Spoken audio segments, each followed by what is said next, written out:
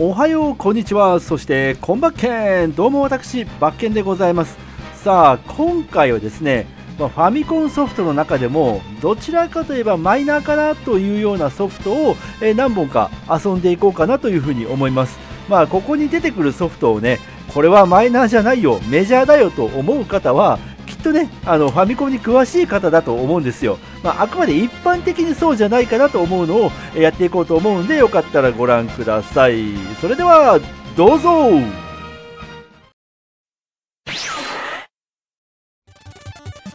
さあそれでは最初の1本目のソフトですね。1本目のソフトはこちらザ・アンタッチャブル、えー、アルトロンというメーカーから出たゲームですね、えー、こちらやってみたいと思います。それではスタート。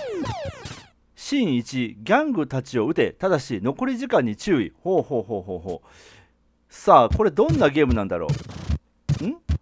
あああれかこれ 3D シューティングと言えばいいのかな？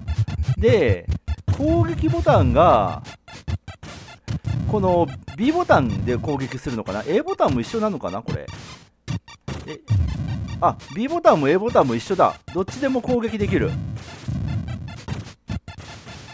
難しいな、これ。なかなか。ん無念。エリオット・ネス、時間切れ。えー、あ、なるほどね。これ、基本的には、撃たれても死なないみたいだね。あの時間切れで死ぬゲームなんだはははははは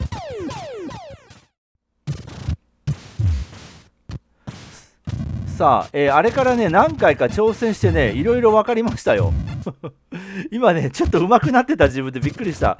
まず撃たれても死なないっていうのは嘘ですね。あのね主人公の横に赤いバーがあるんですけどもあれがあの体力 HP になってる。そしてエネミーって書いてるのがそのシーンの倒さないといけない敵なんですけども数。であのかける2ってなってるのがこの弾の数でこれがなくなったことでリロードして戻らないといけないっていうそんな感じですね。さあそしてステージ3、まあ、あれから結構何回も死んでるからね。ちょっとね自分でもびっくりするぐらいうまくはなってきてるという気がする。あと4匹。4匹4人。4匹って言っちゃった。ダメだね。ゲーム脳の悪い癖だ。そあの微妙な加減が難しい。あー時間切れかくそさあ今度こそ今度こそクリアしても何回やってんだこのステージ3だけ。くそ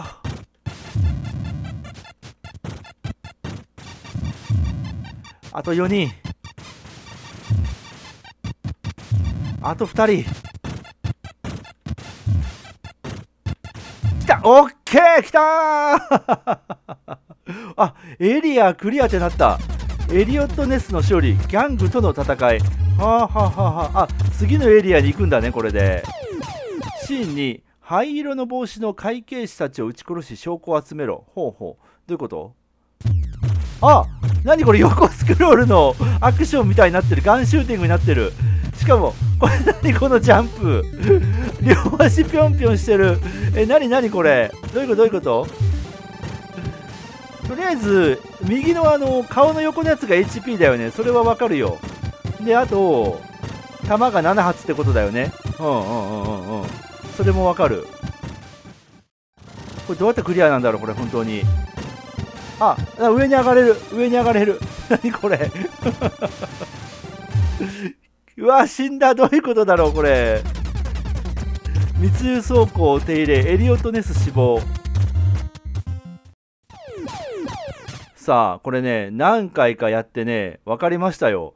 このね灰色の帽子の会計士たちを撃て、えー、撃ち殺し証拠を集めろってこれなってるんだけどこれよく見たらね帽子の色これ違うんだよこれ。なるほどと思った。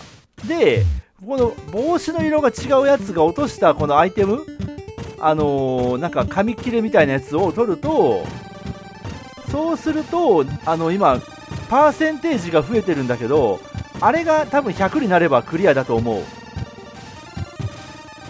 これちょっとジャンプしにくいこれ。なんでこんなジャンプの仕方なんこの人。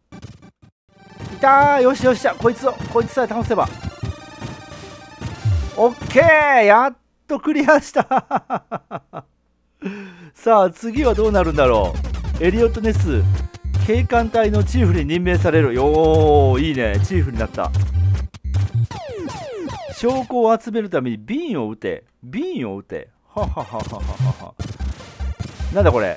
なんかめんどくさがりやただ起きるのが嫌な人みたいになってる。え何これ倒せばいいのかな？どういうこと？どういうこと？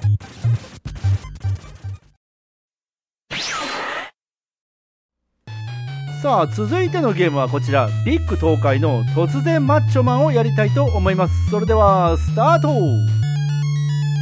さあこれね右下の方に船がありますけども多分ねあそこがゴールだと思うんですよ。なのでこれですねこの船があの目的地だと思うんですがなんか泳いでいけそうだよね。まあきっとね見た目よりも遠いとかさあとサメがめっちゃ出るとかさ、まあ、そういう理由があるとは思うんだけどまあ、サメが出るとかだったらね、ナス Dだったらいけてしまいそうな気もしないでもないですがね。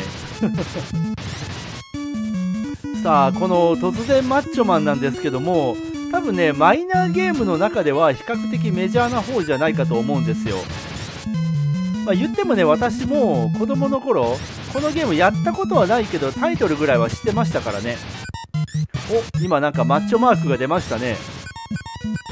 さあこのゲームの主人公なんですけどもよ危ねえクソ出ないまああのマッチョマンというタイトルとは裏腹にねすごいヒョロヒョロのね軟弱なボーイって感じがしますがまあ、実はねこのこの状態はマッチョマンではないんですよ。なので攻撃もこうやって銃で攻撃すると、まあ、敵を倒すと。あとはまあこうジャンプボタンでこう敵の動きをかわしたり地形をおっとっとっとっと渡っていったりするっていう。これねやりにくいのがジャンプボタンをねこれ押しっぱなしにすると勝手にジャンプするんだよね。これめっちゃやりにくいんだよね。さあこのマッチョマーク今取りましたけどもあれがね実はマッチョマンになる秘密なんですよね。おーっと怖えおーっと怖い。あー怖い怖い怖い。さあもう少しでステージ1の1も終わりかな？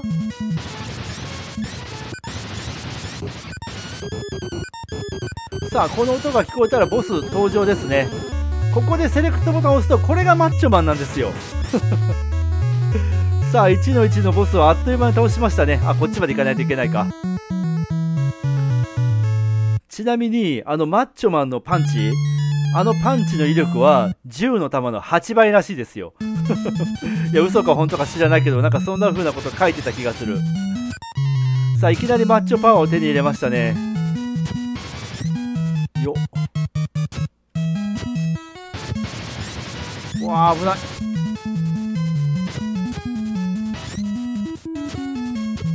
わあ、怖え助かった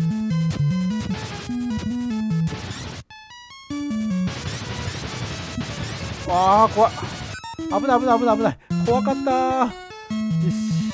おお死に間際になんてことしてくれないあいつは。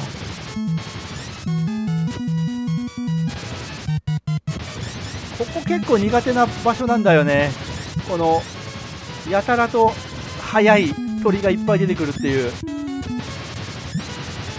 こはもう弾を撃ちまくって切り抜けるしかないと思ってるけど無理だった。弾40発しかないね。いけるか？うわー早っ。やばい。なんとかもうちょっとしのげば。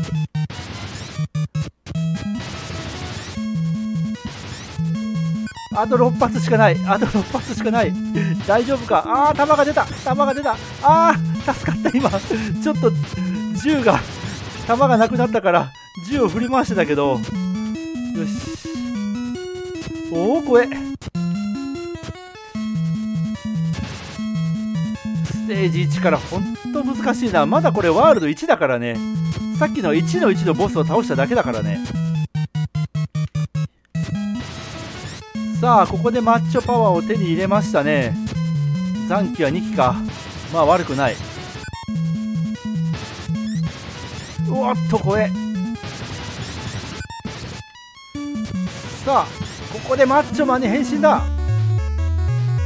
食らえマッチョパンチ。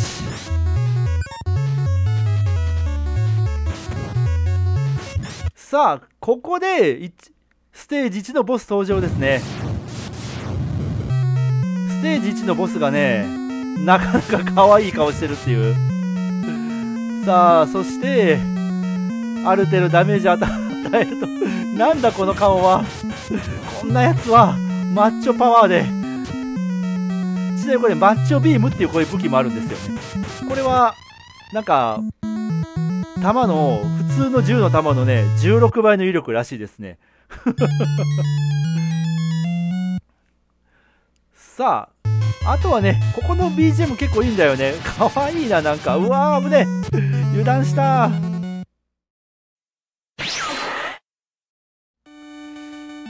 さあ続いてのゲームですけどもこのゲームはね本当に完全初見ですね。どんなゲームか全く分かんない。さあこれは健直子に見えるけどどうなんだろう。さあ次のゲームはこちら。爆笑スターモノマネ四天王ですね。パックインビデオのゲームですけどもちょっとこちらやってみたいと思います。コロッケ人間 BG4 あもしかしてこれボードゲームじゃない？じゃあコロッケにしようかな。スピードはじゃあ速い。ゲームショート。破産ありアクション。そうだよねやっぱり。ボードゲームっぽいね。えー そうなんだ。じゃあサイコロ振る。東横ドーム。えー、あ横に進むんだねしかも。えー ここで止まる。あモノマネができる。もう、えー、何これ。超、バカ、まずバカ殿だよね。アリスだよって。あ、できないからな。あたす、あたすの、あ、アリスだよ違うな。スリラー、ワオ 本当にあれだね、人と世代を選ぶゲームだな、これ。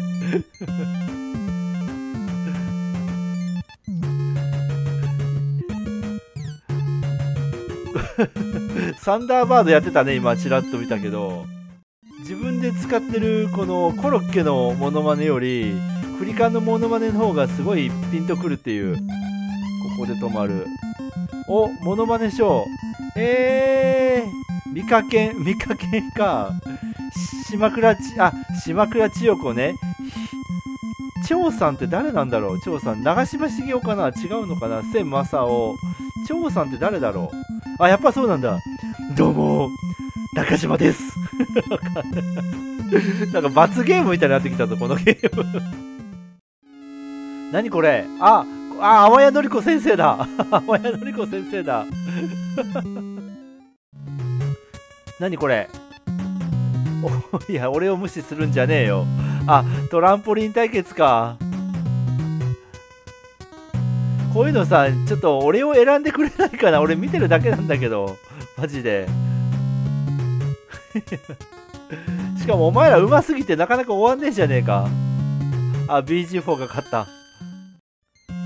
さあ、3周来た。まだ続くのか。もう、もういいわ、これ。もうこのゲームいいわ。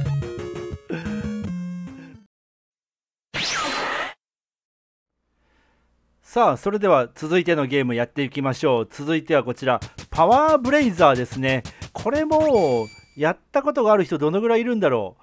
ちょここだけ見るとちょっとなんかね、かっこいい感じもしますし、なかなかこの、ね、グラフィックも綺麗だなと思うんですけれども、それではやっていきましょう。スタートさあ、このゲーム、対等のゲームですね。で、このゲームね、まあ、よく言われるのが太ったロックマンっていう言われ方よくするんですよね。まあどんな感じか。じゃあどうしようかな。このステージでいこうかな。さあどうですかこれ。この体型。なんだかこうしんどそうに歩くよね。このゲームねまあ、太ったロックマンって言われるだけあってねよく言われるのがねジャンプ力が本当に低いんだよね。してなかなかね難易度が高い。ただグラフィックとね BGM はね結構いいんだよ。まあもちろんねその難易度が高いって言ってもねこううまくやる人から見たらそんなこともないんだろうなって気もしますけど。まずはねこのブーメランがパワーアップしてくれるかどうかでね難易度がだいぶ変わっちゃうんだけど。このブーメランのパワーアップのアイテムをなかなか落としてくれないんだよね。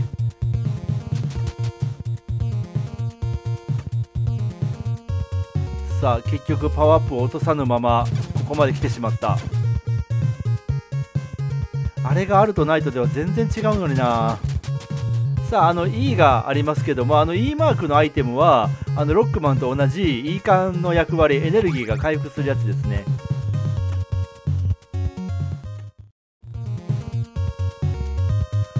さあここからまたよここがまた大変なんだよね。この人ジャンプ力が低いから。あー怖い。ちょっといい感じ使うか。あー一発で2減る。もうすぐボスなんだけどこの状態でいって勝てるかな。やるしかないね。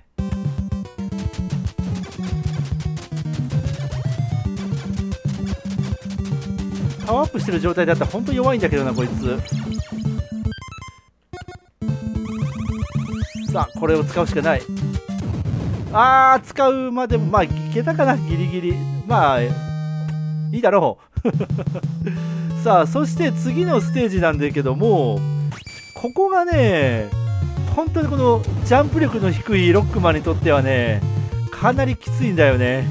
普通に行ったらね結構落ちるんだよね。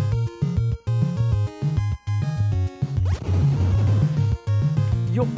ここ届いた。ただねこれ意外とねこうギリギリまで行っても落ちないという。うわ動いてるやつは意外と落ちたな。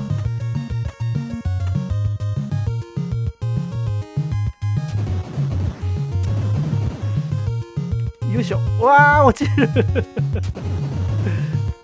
本当にギリギリまで行かないと落ちちゃうな。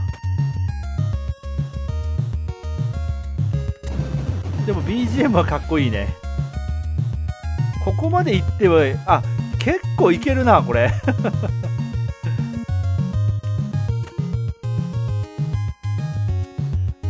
もう絶対難しいやつやん。わーハートもったいね。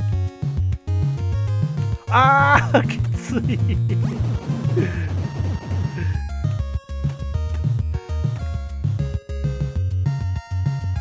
けるかなこれ。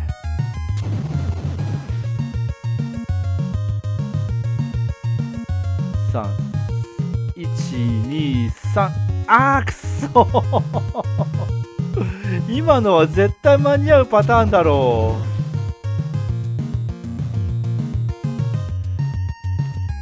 あしまった。しまった。ああもう。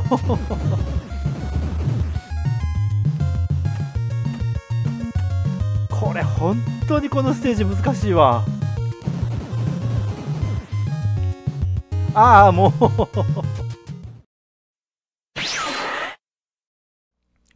ペーパーボーイスリリングな配達ということで続いてのゲームはこちら、えー、ペーパーボーイですね。それではスタート。君のお客さんだよ。って書いてるねこれは。お客さんじゃないよ。なんかシュールだね。月曜日。さあこのペーパーボーイですけどもまあ、いわゆる新聞配達のゲームですね。これがまたね、難しいんだよ、本当に。これはお客さんじゃないのかな？赤色がお客さんじゃないと覚えておけばいいのかな？危ない危ない。わあちょっと待ってこれひどいわ。ひどすぎるだろいくらなんでも。さあこのゲームもどうだろう？知ってる人ってうわ めっちゃむずい。どのぐらいいてるんだろうね。もともとアーケードのゲームで海外のゲームなのかなこれ。まあこれもね見たことはあるけどやったことがないっていう人も意外と多いんじゃないかなっていう気はするんですけども。まあ、その筋では割と有名なゲームの中の1本って感じですね。まあ、ひたすらこうやって、ちょっともう犬 こうやってね、あのー、新聞配達をする、新聞を届ける自転車少年のお話だね。ちなみに、あのー、上ボタンを押すとスピードが速くなって、こうやって、下を押すと、すごい音のブレーキが鳴るっていう。ちょっともうめっちゃくちゃ難しい。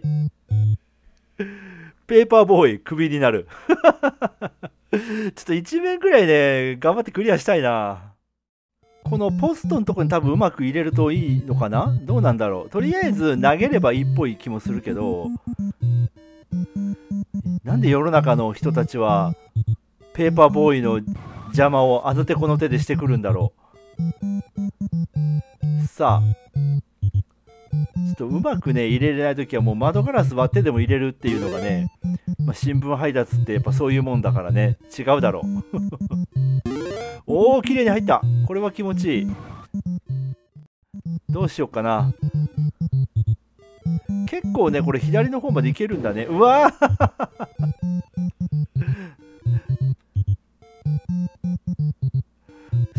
なんとか一面クリアしたいなまあまあ、オッケー。うわあ、危ねえ。よし。よしよし、いい感じ、いい感じ。いいよ、いいよ。おお、怖い。今のは誰かすげえ追いかけてくる。めっちゃ怖い。怖い、怖い、怖い。危ねえ。何をや、何をやらかしたんだ、ボーイは一体。さあ、あとどのぐらいだ？あクリアだ。クリアじゃないのか。なんだこれ。なんだこれ。何これ。どうしたらい？いどうしたらい？いどうしたらい？いどうしたらい？いどうしたらい？いちょっと待って。どうしたらいいのこれ。月曜日の配達報告。今の配達と関係ないだろう。ああ断られちゃった。ぐす？ん 可愛いんだか可愛くないんだか。さあそれではね最後にやるソフトですけどもやっぱりねカプコンといえばストリートファイター。実はファミコンでねストリートファイターが出てたんですよね。ということでこちらストリートファイター2010をやりたいと思います。それではスタート。まあやっぱ嬉しいよね。あのストリートファイターがまさかファミコンでしかもカプコンから出てたなんてね。まあやっぱりでもストリートファイターこれ1990年なんでストリートファイター2よりも前なんだよね。まあってことはまあ剣は出るとして竜と剣は出るとしてねサガットとかまあ誰が出るんだろうね一体。すごい楽しみだよね。うんでもなんかあれだねこれサイボーグとかパラサイトとかなんかちょっとストリートファイターらしからぬ文字がいっぱい出てくるね。ターゲットケンではなくてケビンが主人公だ。ターゲットはなんかエイリアンみたいなやつ。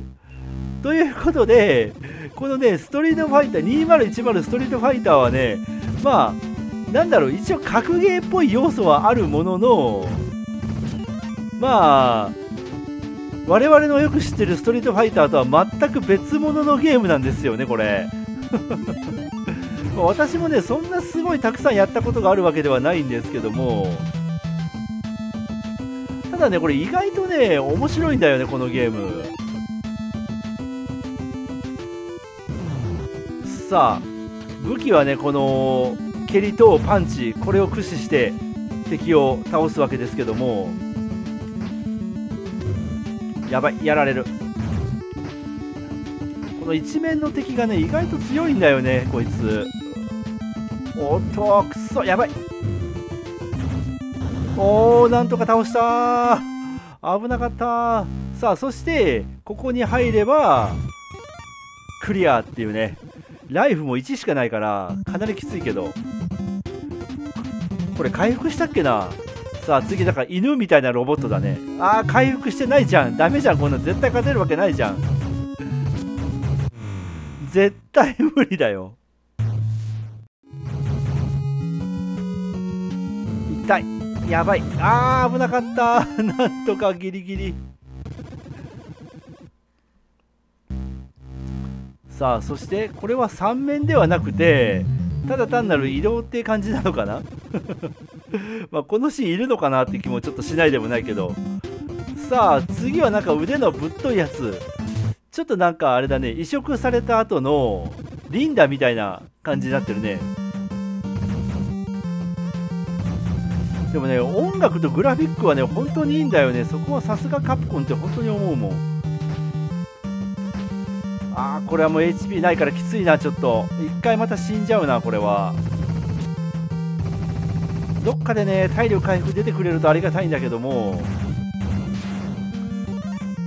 しかしあれだねよくこれストリートファイターっていう名前通ったね本当に。しかもカプコンから。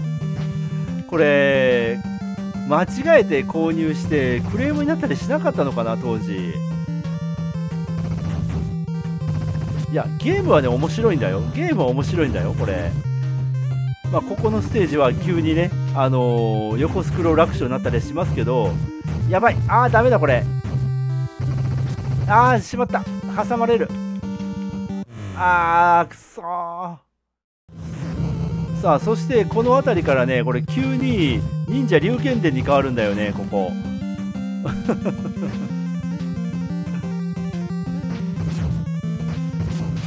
あーあれ欲しかった。あれあったらな。多分ボスに勝ててたんだけどな。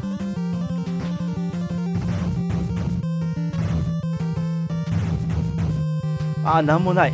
なんもない。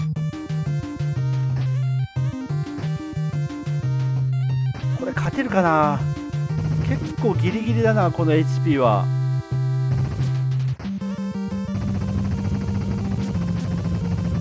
くらい。ペガサス優勢権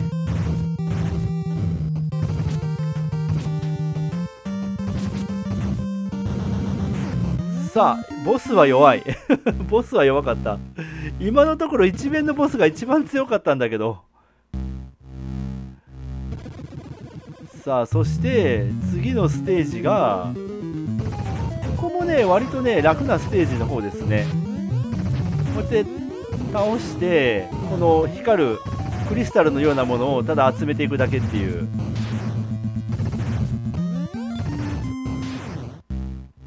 そしてゲートが開いたら入る。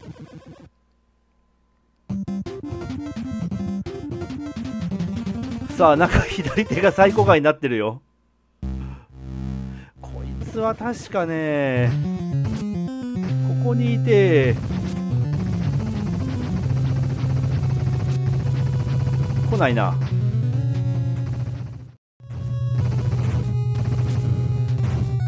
さあここならいけるだろう。ここならおっしゃ勝てた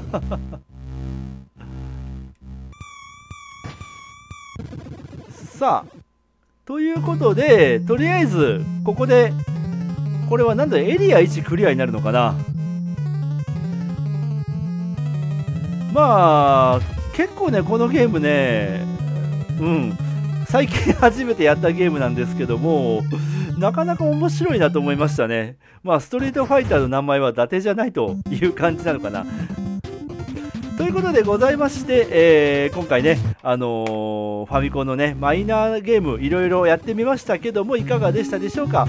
まあ、このゲームはね、あのー、有野課長の、あのゲームセンター CX でね、紹介されたんで、まあ、すごくマニアックというほどでもないのかもしれないけど、まあ、一般的にはね、マイナーなソフトに入るんじゃないかと思いますし、まあ、他のゲームもね、これは違うよっていう意見もあるかもしれませんけども、まあそういうのもね気楽に楽しんで見ていただければありがたいなと思います、えー、ということでここまで私バッケンがお送りいたしました。またよかったら次の動画も見てください。ではではバイバーイ。